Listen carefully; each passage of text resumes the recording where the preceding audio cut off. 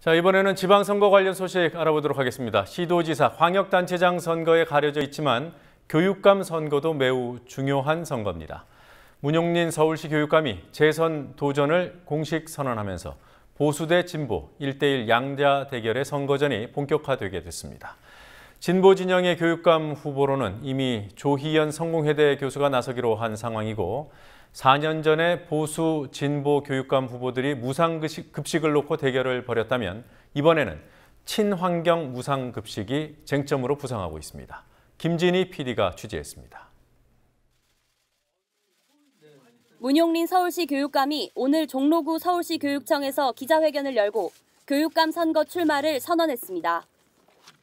문 교육감은 교육과정과 평가체제를 개혁해 행복한 교육을 만드는 이른바 교실 혁명을 이루겠다고 밝혔습니다.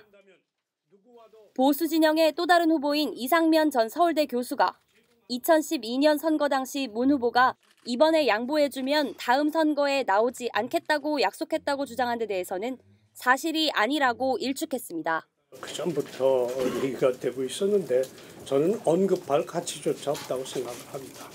문 교육감은 전임 광노현 교육감 때 도입된 친환경 무상급식, 인권조례, 혁신학교 육성 정책 등이 소모적 논쟁을 불러왔다고 평가절하하면서 연착륙을 유도하겠다고 말했습니다.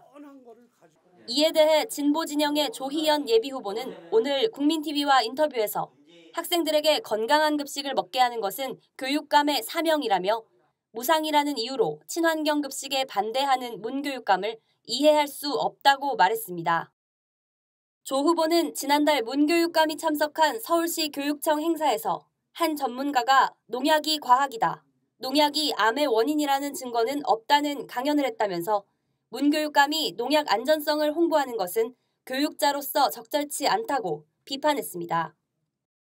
문교육감이 교육은 이념에 휘둘려서는 안 된다고 말한 데 대해서는 조 후보 역시 이번 선거가 이념 대결로 비춰질까 우려된다면서 교육에 있어 보수와 진보의 차이는 의미가 없다고 말했습니다. 오히려 문용민 교육감이 그동안 굉장히 정치적 교육감이었던 것 같아요. 박근혜 정부의 눈치를 본다거나 교육부의 눈치를 보면서 조 후보는 또 서울시 일반고의 슬럼화 문제와 강남과 강북의 교육 불평등을 해결하겠다고 말했습니다. 문용린 교육감과 조희연 후보 모두 학생들의 행복이 최고의 가치라고 말했지만 각각 다른 실현 방법을 내놨습니다. 국민TV 뉴스 김진입니다.